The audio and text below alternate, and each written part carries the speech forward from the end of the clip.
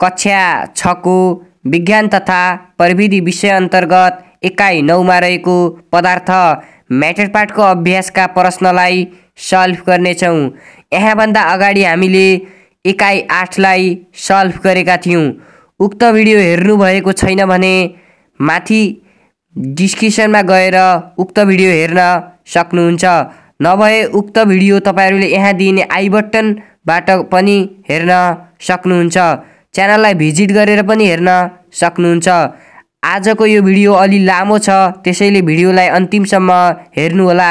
सुरु गरौँ आजको क्लास। अभ्यासको प्रश्न नम्बर एकमा भनेको छ खाली ठाउँमा मिल्ने शब्द भर्नुहोस्।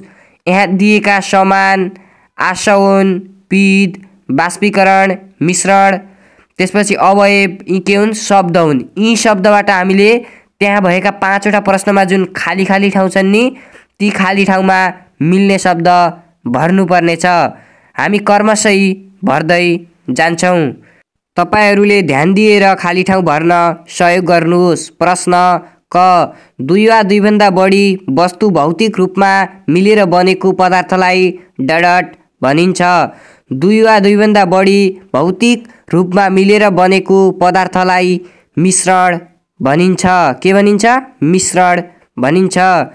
यसै गरी अब हेर्दैछौँ प्रश्न ख। मिश्रण बनाउने वस्तुलाई मिश्रणका डडट भनिन्छ। मिश्रण बनाउने वस्तुलाई मिश्रणका अवयव भनिन्छ। प्रश्न ग। डडट मिश्रणमा अवयवहरू समान रूपले मिसिएका हुन्छन्। कुनमा? हो। समान मिश्रणमा अवयवहरू समान रूपले मिसिएका हुन्छन्। प्रश्न घ डडट विधि प्रयोग गरी गाउँघरमा रक्सी बनाइन्छ के प्रयोग गरी? तपाईँहरूले देख्नु पनि भएको छ है। यहाँको सही उत्तर हुन्छ आशवन है। आशवन विधि प्रयोग गरी गाउँघरमा रक्सी बनाइन्छ। यसै गरी अन्तिममा भनेको छ सेन्टिफ्युजिङ विधिमा गरौँ वस्तु परीक्षण नली नलीको डडटमा जम्मा हुन्छन्। केमा जम्मा हुन्छन् त? हो यसको सही उत्तर के हुन्छ? पिदमा जम्मा हुन्छन् कि कहाँमा हुन्छन्? पिदमा जम्मा हुन्छन्। यसको सही उत्तर हुन्छ पिद यस प्रकार हामीले प्रश्न नम्बर एकमा रहेका खाली ठाउँमा मिल्ने शब्द भर्नुहोस्। प्रश्नका खाली ठाउँमा मिल्ने शब्द भर्यौँ। अब हेर्दैछौँ हामी प्रश्न नम्बर दुई। प्रश्न दुईमा भनेको छ तल दिएका विकल्पबाट सही उत्तर छान्नुहोस्। यहाँ प्रश्न कमा भनेको छ कुन मिश्रणमा अवयवहरू समान रूपले मिसिएका हुन्छन्? अप्सनहरू रहेका छन् बालुवा पानी भुस मिसिएको चामल धमिलो पानी नुन पानी। कुन मिश्रणमा अवयवहरू समान रूपले मिसिएका छन्? कुनमा त नुन पानी हो? हो सबैको मिल्यो है नुन पानी हो। प्रश्न ख. दिएका उदाहरणहरू मध्येबाट असमान मिश्रण चिन्नुहोस्। यहाँ रहेका छन् नि जुन चिनी पानी सोडा पानी धमिलो पानी नुन पानी। तपाईँहरूले यहाँ दिएकाबाट असमान मिश्रण। चिनी पानी होइन सोडा पानी पनि होइन नुन पानी त अहिले भर्खर हामीले गऱ्यौँ यो त जिन हुँदै होइन। धमिलो पानी हो र? पक्कै पनि धमिलो पानी हो। यसको सही उत्तर हुन्छ धमिलो पानी। अब हेर्दैछौँ हामी प्रश्न नम्बर ग। प्रश्न नम्बर गमा भनेको छ दहीबाट नौनी निकाल्न कुन विधिको प्रयोग गरिन्छ? दहीबाट नौनी निकाल्न कुन विधि? आसन सेन्टिफ्युजिङ बाष्पीकरण क्रोमाटोग्राफी यी अप्सन छन्। यति अप्सनबाट सही उत्तर हुन्छ सेन्टिफ्युजिङ दहीबाट नौनी निकाल्न कुनको सेन्टिफ्युजिङ विधिको प्रयोग गरिन्छ? प्रश्न घ। प्रश्न घमा भनेको छ अस्पतालमा पिसाब तथा रगतमा मिसिएका रसायनहरू छुट्याएर पहिचान गर्न कुन विधिको प्रयोग गरिन्छ? अप्सनहरू रहेको छन् आसन विधि सेन्टिफ्युजिङ त्यसै गरी क्रोमाटोग्राफी मडिवीकरण यहाँको सही उत्तर के हुन्छ त? हो यहाँको सही उत्तर हुन्छ क्रोमाटोग्राफी। यो विधिले चाहिँ यो अस्पतालमा पिसाब तथा रगतमा मिसिएका रसायनहरू छुट्याउन पहिचान गर्छ। यस प्रकार हामीले प्रश्न नम्बर दुईमा रहेका प्रश्नलाई सल्भ गऱ्यौँ। अब हेर्दैछौँ हामी प्रश्न नम्बर तिन। प्रश्न नम्बर तिन अन्तर्गत भनेको छ ठिक वा बेठिक छुट्याउनुहोस्। ठिक वा बेठिक छुट्याउनुहोस् भनेको छ प्रश्न क। प्रश्न क अन्तर्गत भनेको छ वायु विभिन्न ग्यासको मिश्रण हो। के हो त यो? हो ठिक। प्रश्न ख नुनपानीको घोललाई असमान मिश्रण भनिन्छ। हामीले अघि नै भन्यौँ नुनपानीको घोललाई समान मिश्रण भनिन्छ भनेर। यो कहाँबाट असमान मिश्रण भयो? त्यसैले यो के हो? बेठिक प्रश्न ग। सेन्टिफ्युजिङ विधिबाट रङहरू छुट्याउन सकिँदैन। सेन्टिफ्युजिङ विधिबाट रङहरू छुट्याउन सकिँदैन। यो के हो? ठिक हो। अर्थात् दिस इज राइट प्रश्न घ आसवन विधिबाट रक्सी बनाउन सकिन्छ। आसवन विधिबाट रक्सी बनाउन सकिन्छ। यो के हो? ठिक हो। प्रश्न ङ। रक्तकोषहरू छुट्याउन सेन्टिफ्युजिङ विधि अपनाइन्छ। यो के हो त? हो। यो के हो? गलत हो। यस प्रकार हामीले प्रश्न नम्बर तिनमा रहेका ठिक र बेठिक छुट्यायौँ।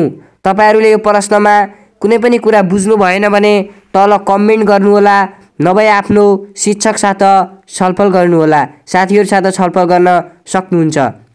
र तपाईँहरूले यो च्यानललाई सब्सक्राइब गर्नुहोस् भिडियोलाई लाइक गर्नुहोस्। यस्तै खालका भिडियो तपाईँहरू यो च्यानलमा पाउनुहुन्छ। मैले तपाईँहरूलाई कक्षा सातमा कक्षा आठमा कक्षा नौमा सबैमा हेल्प गर्छु। अब हेर्दैछौँ हामी प्रश्न नम्बर चार। प्रश्न नम्बर चारमा भनेको छ फरक लेख्नुहोस्। फरक लेख्नका लागि पहिलो प्रश्न नम्बर कमा भनेको छ समान मिश्रण र असमान मिश्रण। समान मिश्रण र असमान मिश्रण बिच फरक यस प्रकार छ। एकातर्फ समान मिश्रण अर्कोतर्फ असमान मिश्रण। मिश्रणमा रहेका सबै वस्तु वा अवयव आपसमा समान रूपले मिसिएका छन् भने त्यस्तो मिश्रणलाई समान मिश्रण भनिन्छ। असमान मिश्रणतर्फ मिश्रणमा रहेका सबै वस्तु वा अवयव आपसमा समान रूपले मिसिएका छैनन् भने त्यस्तो मिश्रणलाई असमान मिश्रण भनिन्छ। समान मिश्रणमा लेख्न सक्छौँ चिनी पानीको घोल नुन पानीको घोल सोडा पानी आदि यसका उदाहरण हुन्। त्यहाँ बुझ्नु होला है यसका भनेको समान मिश्रणका उदा भनेको उदाहरण। त्यसै गरी असमान मिश्रणतर्फ बालुवा मिसिएको पानी भुस मिसिएको चामल आदि यसका उदाहरण हुन्। अर्थात् आदि के असमान मिश्रणका उदाहरण हुन्। यस प्रकार हामीले समान मिश्रण र असमान मिश्रण बिच फरक लेख्न सक्छौँ। अब हेर्दैछौँ हामी फरक लेख्नका लागि प्रश्न नम्बर ख। फरक लेख्नका लागि दोस्रो प्रश्नमा भनेको छ घोलक र घुलित पदार्थ। घोलक र घुलित पदार्थ बिच फरक यस प्रकार छ। एकातर्फ लेखौँ घोलक पदार्थ अर्कोतर्फ लेखौँ घुलित पदार्थ। घोल्न मद्दत गर्नेलाई घोलक पदार्थ भनिन्छ। भने घोलमा घुल्नेलाई घुलित पदार्थ भनिन्छ। उदाहरणमा लेख्न सक्छौँ हामीले चिनी पानीको घोलमा पानी घोलक पदार्थ हो भने चिनी पानीको घोलमा चिनी घुलित पदार्थ हो। तपाईँहरूले कुरा बुझ्नु पऱ्यो घोल्न मद्दत गर्नेलाई घोलक पदार्थ। जसमा घुल्छ नि घोलमा घुल्नेलाई चाहिँ घुलित पदार्थ भनिन्छ। यो कुरा बुझ्नु पऱ्यो त्यस अन्तर्गत घोलक पदार्थमा लेख्न सक्छौँ चिनी पानीको घोलमा पानी घोलक पदार्थ हो है? बुझ्नुहुन्छ? बुझ्नुहुन्छ चिनी पानीको घोलमा पानी घोलक पदार्थ हो अनि चिनी पानीको घोलमा चिनी घुलित पदार्थ हो। यस प्रकार हामीले घोलक पदार्थ र घुलित पदार्थ बिच फरक लेख्यौँ र यो लेख्दा लेख्दै हामीले प्रश्न नम्बर कति त? हो। प्रश्न नम्बर चारमा रहेका प्रश्न उत्तरलाई सल्भ गऱ्यौँ। भनेको दुईवटा कारण फरकहरू लेख्यौँ। अब हेर्दैछौँ हामी प्रश्न नम्बर पाँच। प्रश्न नम्बर पाँच अन्तर्गत भनेको छ। कारण दिनुहोस्। प्रश्न नम्बर कमा भनेको छ चिनी पानीको घोललाई समान मिश्रण भनिन्छ। चिनी पानीको घोललाई समान मिश्रण भनिन्छ।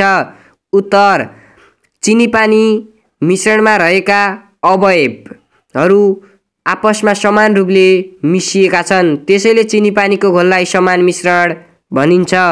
यो कुरालाई बुझ्नु पऱ्यो तपाईँहरूले परीक्षामा यस्तै खालका प्रश्नहरू आउँछन्। चिनी पानीको घोललाई समान मिश्रण भनिन्छ। किन भनिन्छ भनेपछि चिनी पानी मिश्रणमा रहेका अवयवहरू आपसमा समान रूपले मिसिएका छन्। त्यसैले चिनी पानीको घोललाई समान मिश्रण भनिन्छ। पक्कै पनि बुझ्नुहुन्छ यो कुरा तपाईँहरूले। कुनै पनि कुरा बुझ्नु भएन भने कमेन्ट गर्नुहोला। प्रश्न ख। प्रश्न ख अन्तर्गत भनेको छ विभिन्न प्रकारका रङको मिश्रणलाई क्रोमाटोग्राफी विधिबाट छुट्याइन्छ। विभिन्न प्रकारका रङहरू र अर्थात् रङको मिश्रणलाई क्रोमाटोग्राफी विधिबाट छुट्याइन्छ। उत्तर। उत्तरमा लेख्न सक्छौँ यस विधिले कागज प्रयोग गरी चाँडो सर्ने रङ र ढिलो सर्ने रङलाई छुट्याइदिन्छ। त्यसैले विभिन्न प्रकारका रङको मिश्रणलाई क्रोमाटोग्राफी विधिबाट छुट्याइन्छ। तपाईँहरूले यो कुरा बुझ्नु पऱ्यो कि क्रोमाटोग्राफी विधिको प्रयोग गरेर हामीले विभिन्न प्रकारका रङहरू छुट्याउन सक्छौँ। यो क्रोमाटोग्राफी विधिको कारणले गर्दा नै हामीले एक आपसमा मिलेका अर्थात् मिलेका मिश्रणहरू रङहरू मिलेका मिश्रणलाई छुट्याउन सक्छौँ। त्यसैले यो क्रोमाटोग्राफी विधिको प्रयोग गरिन्छ। अब हामीले यसको उत्तर यसरी लेख्न सक्छौँ। यस विधिले कागज प्रयोग गरी चाँडो सर्ने रङलाई चाँडो र ढिलो सर्ने रङलाई कसरी छर्छन् भनेर छुट्याउँछ त्यसैले। प्रश्न ग। प्रश्न गमा भनेको छ तरल र ठोसको मिश्रणमा भएका हलुका र गरौँ पदार्थलाई छुट्याउन सेन्टिफिजिङ विधि प्रयोग गरिन्छ। उत्तर यस विधिले पानीमा नघुल्ने गरौँ पदार्थ र हलुका पदार्थको मिश्रणमा पानी मिलाएर मिसाएर अर्थात् मिसाएर जोडले घुमा घुमाउँदा के हुन्छ? गरौँ पदार्थ पिदमा र हलुका पदार्थहरू मुखतिर छुट्टिन्छन्। यस विधिले यस्ता थुप्रै मिश्रणलाई छुट्याउन छुट्याउन प्रयोग गरिन्छ यस विधिको है। यस्ता थुप्रै खालका मिश्रणहरू त्यस अन्तर्गत दुध तथा दहीबाट के नौनी यस्ता छुट्याउँछ। त्यसैले तरल र ठोसको मिश्रणमा भएका हलुका र गरौँ पदार्थलाई छुट्याउन सेन्टिफिजिङ विधि प्रयोग गरिन्छ। यो कुरा बुझ्नु होला तपाईँहरू। यस्तै खालका प्रश्नहरू आउँछन् मैले अघि भनिसकेँ। यस विधिले पानीमा नघुल्ने गरौँ पदार्थ र हलुका पदार्थको मिश्रणमा पानी मिसाएर जोडले घुमाउँदा गरौँ पदार्थ पिदमा र हलुका पदार्थहरू मुखतिर रहेर छुट्टिन्छन्। यस विधिले यस्ता थुप्रै पदार्थलाई के गर्ने? अर्थात् यस्ता थुप्रै पदार्थ भनेको मिश्रण है। यस्ता थुप्रै मिश्रणहरूलाई छुट्याउन प्रयोग गरिन्छ। त्यस अन्तर्गत दुध तथा दहीबाट दहीबाट नौनी बनाउने यो पनि सेन्टिफिजिङ विधिको प्रयोग। त्यसैले तरल र ठोसको मिश्रणमा भएका हलुका र ग्रौँ पदार्थलाई छुट्याउन सेन्टिफिजिङ विधिको प्रयोग गरिन्छ।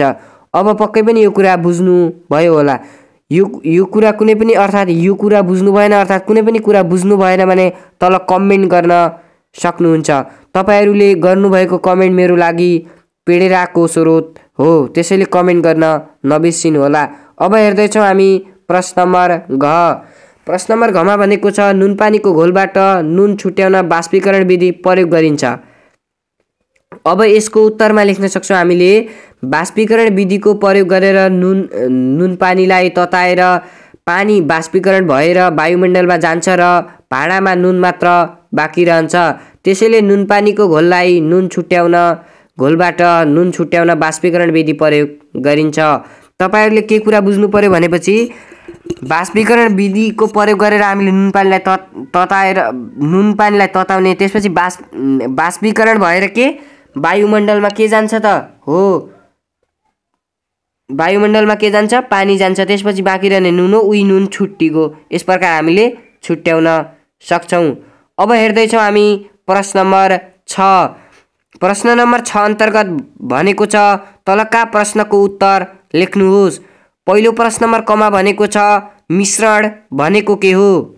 यसको उत्तरमा लेख्न सक्छौँ हामीले दुई वा दुईभन्दा बढी वस्तु मिलेर बनेको पदार्थलाई मिश्रण भनिन्छ। अर्थात् दुई वा दुईभन्दा बढी वस्तुहरू कुनै अवयवहरू मिलेर बनेकोलाई मिश्रण भनिन्छ। प्रश्न ख। प्रश्न खमा भनेको छ कस्तो प्रकारको मिश्रणलाई समान मिश्रण भनिन्छ? कुनै दुईवटा उदाहरणसहित बताउनुहोस्। उत्तर मिश्रणमा रहेका वस्तु वा अवयव आपसमा समान रूपले मिसिएका छन् भने त्यस्तो मिश्रणलाई समान मिश्रण भनिन्छ। कुनै दुई उदाहरण।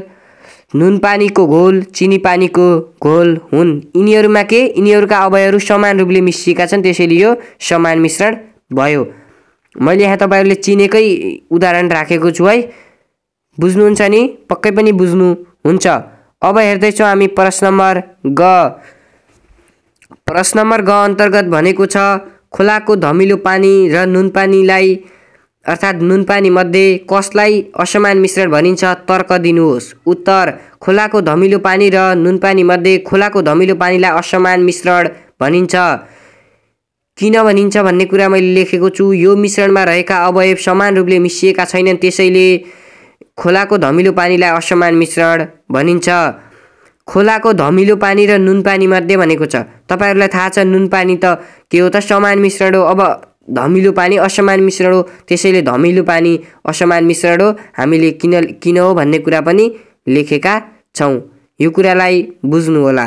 अब हेर्दैछौँ हामी प्रश्न घ। प्रश्न घमा भनेको छ कस्तो गुण भएका मिश्रणलाई आसन विधिबाट छुट्याइन्छ? आसन विधिबाट है? उत्तर पानीभन्दा कम तापक्रममा उम्लने र अन्य पदार्थ पनि हुन्छन्।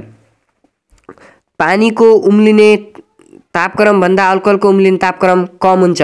अल्कोहल र पानीको मिश्रणलाई तताउँदा पानीभन्दा पहिले अल्कोहल बाफ बनेर निस्किन्छ र भाँडामा पानी मात्र रहन्छ। यस्तो गुण भएका मिश्रणलाई आसन विधिबाट छुट्याइन्छ। यस्तै खालका गुण भएका। कस्तो भनेपछि यहाँ लेखिदिएको छु मैले। यहाँ धेरै पढ्दा के हुन्छ? समय बर्बाद हुन्छ अर्थात् तपाईँहरूको टाइम वेस्ट हुनसक्छ मेरो पनि हुन्छ। त्यसैले तपाईँहरूले बुझ्नु होला भिडियो लङ हुन्छ। यहाँ दिएको कुरा पढ्नु होला यस्तै गुण। यहाँ दिएका छन् नि जुन मैले लेखेको छु यो कुरालाई पढ्नु भने यस्तै गुण भएका मिश्रणलाई आवश्यक विधिबाट छुट्याइन्छ भनेर बुझ्नु होला। यो कुरा बुझ्नु होला तपाईँहरू म त्यति डिस्कस गर्दिनँ। प्रश्न ङ। प्रश्न ग अन्तर्गत भनेको छ सेन्टिफ्युजिङ विधिको प्रयोग कहाँ र किन गरिन्छ? बताउनुहोस्। उत्तर सेन्टिफ्युजिङ विधिको प्रयोग प्रयोगशाला अस्पताल र गाउँघरमा गरिन्छ। किनकि अस्पतालमा रगत जाँच गर्दा गाउँघरमा दुध तथा दहीबाट नौनी छुट्याउन वा तरल तथा के ठोस पदार्थको मिश्रणलाई जोडले घुमाएर त्यसमा रहेका हलुका र गरौँ पदार्थलाई छुट्याउन प्रयोग गरिन्छ। सेन्टिफ्युजिङ विधिको प्रयोग हामीले अघि नै सेन्टिफ्युजिङ विधिको प्रयोगमा कारण पनि लेखेका छौँ। त्यसको आधारमा पनि यसको उत्तर लेख्न सक्नुहुन्छ अर्थात् यसलाई व्याख्या गर्न सक्नुहुन्छ।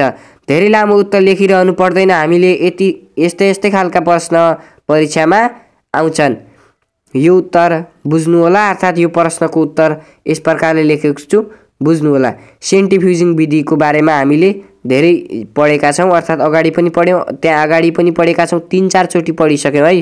प्रत्येक प्रश्नमा छ बुझ्नु होला। प्रश्न च। प्रश्न चमा भनेको छ रगतमा भएका विभिन्न रसायनहरू छुट्याउनु पर्दा कुन विधिको प्रयोग गर्नुहुन्छ कारणसहित लेख्नुहोस् भनेको छ। यो तपाईँहरूको प्रश्न हो यसको उत्तर मैले तपाईँहरूकै आधारमा लेखेको छु। अब यसको उत्तरमा लेख्न सक्छौँ हामीले अर्थात् उत्तर। रगतमा भएका विभिन्न रसायनहरू छुट्याउनु पर्दा क्रोमाटोग्राफी विधिको प्रयोग गर्छु। किनकि क्रोमाटोग्राफी विधिको प्रयोग गरी अस्पतालमा पिसाब तथा रगतमा मिसिएका रसायनहरू छुट्याएर अर्थात् छुट्याएर पहिचान गर्न सकिन्छ। त्यसैले प्रयोग गरिन्छ। यो उत्तर यसरी लेख्न सक्नुहुन्छ अर्थात् बुझ्नुहुन्छ भन्ने विश्वास छ मलाई। यसरी यो यसको उत्तर लेख्न जान्नु होला तपाईँहरू। र यी प्रश्नहरूमा नबुझेको छ भने तपाईँहरूले तल कमेन्ट गर्न सक्नुहुन्छ। मैले तिनचोटि भनिसकेँ यो च्यानललाई सब्सक्राइब गर्नुहोस् र भिडियोलाई लाइक गर्नुहोस्। यस्तै खालका भिडियो तपाईँहरूको लागि यो च्यानल उपस्थित छ। अब हेर्दैछौँ हामी प्रश्न छ। प्रश्न छमा भनेको छ हाम्रो दैनिक जीवनमा घोलकको प्रयोग कहाँ कहाँ भएको पाइन्छ? चर्चा गर्नुहोस्। यसको उत्तर यस प्रकार छ। उत्तरमा लेख्न सक्छौँ हामीले हाम्रो दैनिक जीवनमा घोलकको प्रयोग औषधि पेय पदार्थ जुस पानीमा बस्ने जनावर तथा वनस्पतिले पानीमा घुलेर रहेको अक्सिजन लिएर श्वास प्रश्वास गर्न हाम्रो खानामा पानी तथा लवणहरू आदिमा के छ त यो? घोलकको प्रयोग छ। अर्थात् हाम्रो दैनिक जीवनमा घोलकको प्रयोग यहाँ दिएको उत्तरको आधारमा भन्न सक्नुहुन्छ। यस्ता खालका के? हाम्रो जुस पेय पदार्थ भए औषधि भए यस्तै खालका है हाम्रा अब जहाँमा पनि घोलक नै हुन्छ। हाम्रो दैनिक जीवनमा पराए वनस्पतिकोमा पनि हुन्छ हाम्रोमा पनि हुन्छ जनावरको पनि हुन्छ। जनावर भनेका हामी त हुँ त है। आजको लागि अन्तिम प्रश्न छ प्रश्न नम्बर ज। यदि तपाईँलाई एउटा गिलासमा नुन पानी बुझ्नु होला है यो कुरा यदि तपाईँलाई एउटा गिलासमा नुन पानी र अर्को गिलासमा शुद्ध पानी दिएको छ नचाखी तीमध्ये कुन शुद्ध पानी हो भनेर छुट्याउनु पर्यो भने के गर्नुहुन्छ? मिश्रण छुट्याउने विधिका आधारमा लेख्नुहोस् भनेको छ। महत्त्वपूर्ण क्वेसन छ यो र यसको उत्तर म लेखिदिन्न किनकि यो उत्तर तपाईँहरू आफैले लेख्नुहुन्छ। यो उत्तर यति सजिलो छ एउटै वाक्यमा उत्तर छ तर तपाईँहरूले गर्न जान्नुपर्छ यो उत्तर है। फेरि एकचोटि प्रश्न पढौँ। यदि तपाईँलाई एउटा गिलासमा नुन पानी दियो अर्को गिलासमा शुद्ध पानी दियो नचाखी तीमध्ये कुन शुद्ध पानी हो त? भनेर तपाईँहरू छुट्याउनु पऱ्यो भने के गर्नुहुन्छ? मिश्रण छुट्याउने विधिका आधारमा लेख्नुहोस् भनेको छ। तपाईँहरू यो उत्तर लेख्न सक्नुहुन्छ नि? लेख्न सक्नुहुन्छ है। लेख्न सक्नुहुन्छ? सक्नुहुन्छ पक्कै पनि। यदि सक्नु भएन भने तपाईँहरू आफ्नो शिक्षकसँग नै छलफल गरेर लेख्नुहोला। यो यहाँबाट बुझाएर बुझिने खालको प्रश्न होइन। अलिकति बढी कार्य गर्नुपर्छ यसको लागि हामीले त्यसैले तपाईँहरू यसको उत्तर लेख्न प्रयास गर्नुहोला। यति बुझ्नु भएन भने आफ्नो शिक्षकसँग छलफल गर्नुहोला। सजिलो छ उत्तर। हामीले यति धेरै पढ्यौँ। तपाईँहरूलाई थाहा छ आवासन विधि पढ्यौँ अर्थात् आसवन विधि पढ्यौँ क्रोमाटोग्राफी विधि पढ्यौँ सेन्टिफिजिङ विधि पढ्यौँ। धेरै विधि हामीले पढिसकेका छौँ। यी विधिमा एउटा विधि त होला यो बाष्पीकरण पढ्यौँ यति विधिमा एउटा विधिको आधारमा यसको उत्तर लेख्न सक्नुहुन्छ। यो उत्तर म भन्दिनँ किनकि कुनै कुनै प्रश्न तपाईँहरूलाई पनि मैले दिनुपर्छ। आजको लागि मैले तपाईँहरूलाई यो प्रश्न दिएँ। हामीले धेरै कुरा पढेका छौँ है। अब हामीले यससँगै के गऱ्यौँ त? हो यससँगै हामीले के गऱ्यौँ? कक्षा छका विद्यार्थीहरूको लागि विज्ञान तथा प्रविधि विषय अन्तर्गत एकाइ नौमा रहेको पदार्थ म्याटर पार्टको अभ्यासका प्रश्नलाई सल्भ गऱ्यौँ। पक्कै पनि यो सल्युसन हजुरको लागि उपयोगी रह्यो भन्ने विश्वास छ। भिडियोलाई लाइक र च्यानललाई सब्सक्राइब गर्न नबिर्सिनुहोला। हामीले आजको क्लासमा यति धेरै कुरा पढ्यौँ कि तपाईँहरू जुन कल्पना पनि गर्न सक्नुहुन्न। तपाईँहरू ठुलो कक्षामा यहाँभन्दा बढी पढ्नुपर्छ। तर यो क्लासमा आज हामीले धेरै पढ्यौँ यसकै आधारमा हामीले अरू उत्तर लेख्नुपर्नेछ। अर्थात् ठुलो क्लासमा यसकै आधारमा हामीले उत्तर दिनुपर्छ। त्यसैले तपाईँहरू यो प्रश्नलाई बुझ्नुहोला। यो म्याटर पाठ भए तापनि अर्थात् पदार्थ पाठ भए तापनि यस अन्तर्गत मुख्यत मिश्रणको बारेमा छ। मिश्रणका प्रकार टाइप्स है। त्यसै गरी अनि मिश्रणका प्रकारपछि अरू के के छन्? मिश्रणका स्वरूपहरू मिश्रण छुट्याउने विधिहरू छन्। त्यस अन्तर्गत बाष्पीकरण विधि क्रोमाटोग्राफी विधि त्यसै गरी स्थानीय प्रविधिका रूपमा आवासन क्रियाको अर्थात् आसन क्रियाको प्रयोग भनेको आवासन विधिको प्रयोग।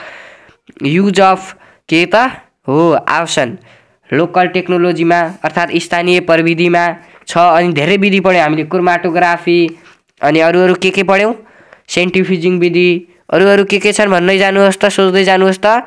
हो घोल घोलक पदार्थ घोलित पदार्थ दैनिक जीवनमा घोलको पर प्रयोग हो। यी कुरा हामीले जान्नुपर्ने छ यो पाठमा। यो पाठमा तपाईँहरू यो कुरा बुझ्दै जानु होला भन्ने विश्वास छ मलाई। तपाईँहरू बुझ्नुहुन्छ भन्ने विश्वास छ। पक्कै पनि बुझ्नुहुन्छ है? बुझ्नुहुन्छ नि? बुझ्नुहुन्छ। तपाईँहरूले यी सबै कुरा बुझ्नुभयो भन्ने विश्वासका साथ अहिलेलाई भने मैले यो क्लासको भिडियो अन्त्य गरेँ। हजुरको दिन शुभ रहोस्। धन्यवाद।